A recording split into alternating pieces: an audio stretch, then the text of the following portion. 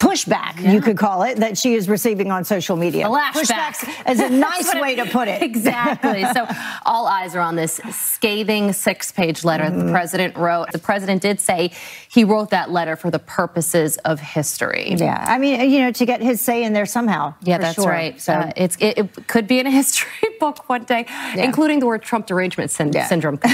Speaking of derangement syndrome, Christmas being a GOP talking point, yeah. then we have a problem. Yeah, he, I'm sure he just said it because it's the season. Yeah. Tis the season. Tis the season. All right. To say Merry Christmas. Yeah. Thank you so much. Thanks, Heather. Thank you for having me. We certainly appreciate it. So just begin by telling everyone kind of a little bit about your organization, what you do.